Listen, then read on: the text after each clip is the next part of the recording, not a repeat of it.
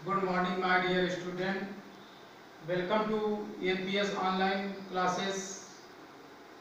जैसा कि मैंने पार्ट ऑफ़ स्पीच का पार्ट एडजेक्टिव एडवर्ब पढ़ाया हुआ था उसी क्रम में लगभग ये लास्ट बचा हुआ है जिसका नाम है कंजंक्शन बच्चों ने बहुत अच्छा रिस्पांस भेजा है उससे मैं बहुत प्रसन्न हूँ और बच्चे बहुत अच्छी तरीके से एक्सरसाइज कर रहे हैं और बारी बारी में जो है, उसको पोस्ट कर रहे हैं।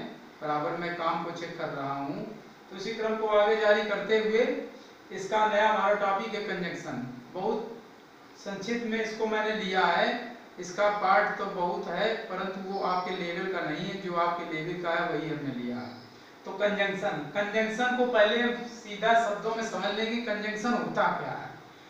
कंजंक्शन हिंदी में वैसे कहते हैं कि यह दो शब्दों या दो सेंटेंस को मतलब दो शब्द हों या दो वाक्य हों या दो उपाख्यान या फ्रेज टाइप के हों, उनको आपस में जोड़ता है। जैसे कि राम और श्याम। राम और श्याम को और से जो जोड़ा गया है एंड से जोड़ा गया है, इसको हम कंजंक्शन बोलते हैं। अब डेफिनेशन देखते हैं। डेफिनेशन में क्या है? A conjunction is a word which join two or then two word phrase clause और सेंटेंसेस मतलब कंजंक्शन वह वर्ड है, वह शब्द है जो दो या दो से अधिक शब्दों को फ्रेज को क्लॉज को और सेंटेंसेस को आपस में जोड़ता है। जैसे एग्जांपल में देखेंगे, जैसे कह दिया Ram and Mohan, Ram and Sovan went to market अब इसमें कंजंक्शन समझ में आ रहा होगा। राम एंड सोवन राम और सोवन वेंट टू मार्केट बाज़ार गए। राम और सोवन बाज़ार गए। राम और जो एंड से वाक्य एंड से दो ये हमारे वर्ड जुड़े हुए हैं, राम और सोवन तो ये हमारा कंजंक्शन का काम कर रहा है। और दूसरे वाले सेंटेंस में I went I went to see मैं उसको देखने के लिए गया। बट लेकिन सी वाज नॉट देयर परंतु वह, लेकिन वह वहाँ नहीं थी। अब इसमें देखो, ये दो सेंटेंस हैं। एक ये सेंटेंस है, एक ये सेंटेंस इन दोनों सेंटेंसों को हमने बट से जोड़ दिया। ठीक है? अब इसके थर्ड में देख गिव मी टी और कॉफ़ी मतलब मुझे दो। क्या दो? चाय अथवा कॉफ़ी चाय अथवा कॉफ़ी दो। ये देखो हमारे फेस टाइप के आ गए तो इनको जो है हमने और से जोड़ दिया। है, ये और से जुड़ा, ये भी हमारा कंजंक्शन है। वर्क हार्ड कठोर परिश्रम करो।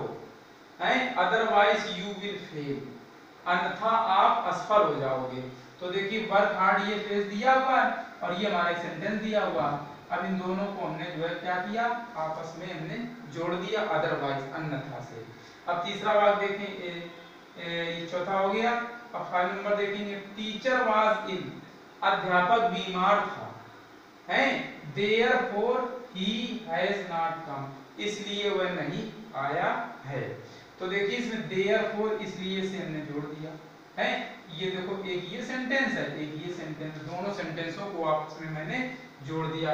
और kind of conjunction kinds of conjunction जो होते हैं तो two types of kinds of conjunction होते हैं कोऑर्डिनेटिंग कंजंक्शन सबऑर्डिनेटिंग कंजंक्शन इनके भी पार्ट होते हैं, परंतु आपको वह ज़्यादा डीपली में नहीं जाना है, केवल इतना समझना है कि कंजंक्शन क्या होती है कंजंक्शन डेफिनेशन क्या होती है, और ये थोड़ा टाइप्स के दो पता कर लेना है कि कितने प्रकार का होता है तो कोऑर्डिनेटिंग कंजंक्शन सबऑर्डिनेटिंग कंजंक्शन इसके भी पाँच पाँच छह छह भाग होते हैं, परंतु आपके लिए इतना पर्याप्त है। तो ये जो कंजेक्शन मैंने पढ़ाया कंजेक्शन की मैं एक सीट आपको प्रोवाइड कराऊँगा। उस सीट को लिखना होगा और उसी को लर्न करना होगा। यही आपका जो है, इस डब्ल्यू में वर्क रहेगा। Thank you for seeing this video